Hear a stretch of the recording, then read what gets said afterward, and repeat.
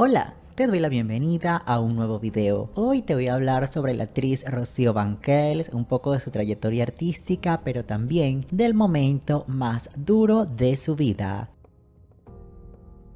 María del Rocío Banquel Núñez nació en Monterrey, Nuevo León, el 22 de junio de 1958. Rocío sentía inclinación por la actuación desde la infancia, sin embargo, inicialmente su padre se negaba a que ella iniciara una carrera como actriz, pero a los 10 años de edad lo convence y debuta en la obra teatral Los Años Imposible que protagonizaba y dirigía su padre, Rafael Banquels. Luego vio un gran talento en ella y ella comenzó a incursionar en diversas obras y llegó a la versión musical de Vaselina Mexicana. Y allí al lado de Julisa y Ben Ibarra comenzó a hacer giras por todos los teatros de México.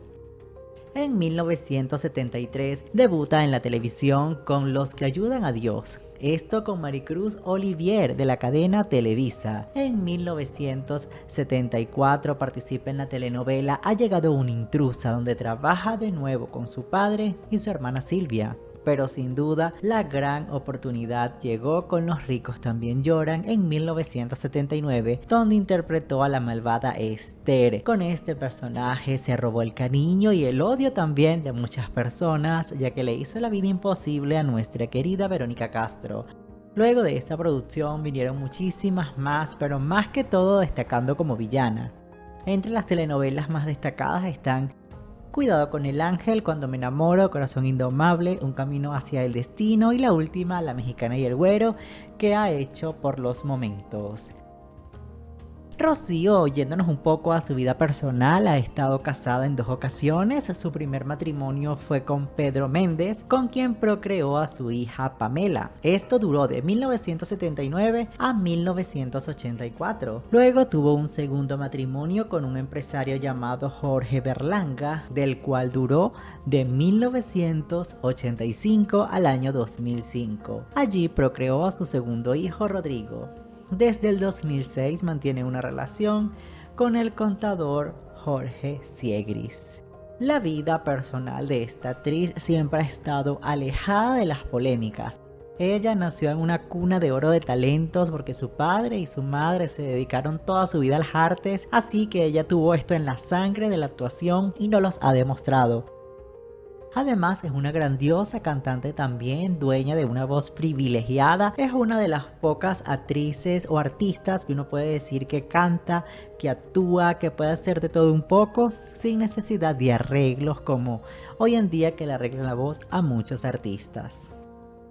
Hace un par de años se filtró una información bastante delicada y que luego resultó ser confirmada por la misma actriz. Cuatro infiltraciones, o sea, infiltraciones que te inyectan directo a la, articulación por la espalda y ya más o menos se ha ido desinflamando, pero todavía el nervio ciático tengo la mitad de la pierna entumida, ya no dormida, porque la tenía dormida cuando se te duerme la pierna, como que te caes, ¿no? Entonces no poder... Luego de dos operaciones y de haber estado convaleciente por problemas en la cadera, Rocío Banqueles tuvo que posponer todos sus proyectos.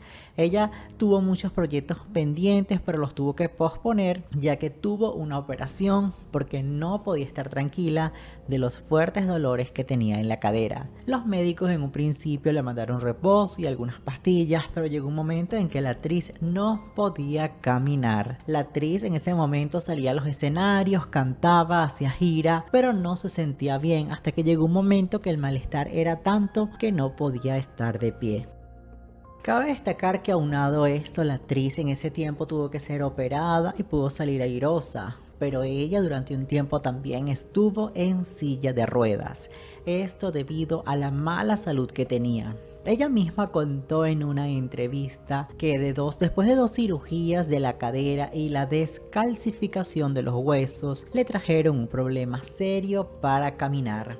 Ella relató, el dolor físico era tan fuerte que me hizo quedar paralítica, no poder caminar y tener que necesitar ayuda para todo me estaba deprimiendo. Ahora pasamos a otra etapa en la vida de la actriz, porque a raíz de esta enfermedad, como, se, como es una mujer que siempre se ha mantenido activa, siempre ha hecho de todo un poco, teatro, telenovelas, películas, canta, series, al estar pasando por este proceso, por esta enfermedad tan difícil, ella tuvo que hacer una pausa en todo eso y cayó en depresión ya que ella necesitaba una enfermera las 24 horas al día y los 7 días de la semana para poder hacer sus cosas más sencillas como ir al baño, comer, todo lo que normalmente una persona puede hacer, a ella le costaba el triple. Ella misma declaró eso, que, que, ella sentía que se iba a morir en ese momento de su vida y que es algo muy oscuro y triste. Gracias también le da a Dios y a sus hijos porque siempre estuvieron presentes apoyándola, llevándola con diversos médicos y por supuesto estando allí presente colaborando tanto económicamente como presencialmente. Recientemente la actriz fue noticia porque se cayó en pleno escenario mientras estaba cantando en un concierto. El programa Ventaneando mostró las imágenes del incidente.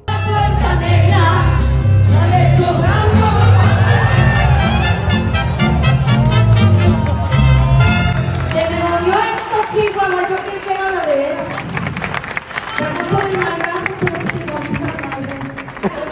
De acuerdo con lo informado, fue el 3 de septiembre cuando la cantante se cayó en pleno concierto en el Auditorio Río 70 de Monterrey, Nuevo León. Todo marchaba en orden durante el show hasta que se acercó a sus fans para saludarlos y tomarse algunas fotografías. Ella estaba cantando la canción La Puerta Negra cuando de repente se tambaleó y cayó al suelo. Ante el incidente, un integrante del mariachi se ofreció para ayudarla, aunque la cantante decidió seguir cantando.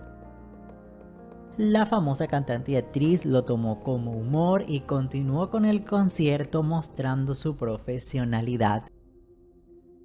Pero esto despertó la angustia de sus fans que saben que ella toda su vida ha sufrido de la cadera, tiene dos cirugías, había estado paralítica y esto comenzó a preocupar a sus fanáticos. Sin embargo, ya descansó algunos días para después retomar la gira. Hoy en día Rocío Banquels ya puede caminar, ya cuenta esto como una terrible pesadilla. Sin embargo, esto de las caídas es una secuela que le quedó la debilidad en sus piernas. Desde acá le deseamos pronta recuperación y por supuesto que sigan los éxitos. Te invito a que si es primera vez que ves uno de mis videos te suscribas a mi canal, me regales un me gusta y por supuesto dejes tu comentario.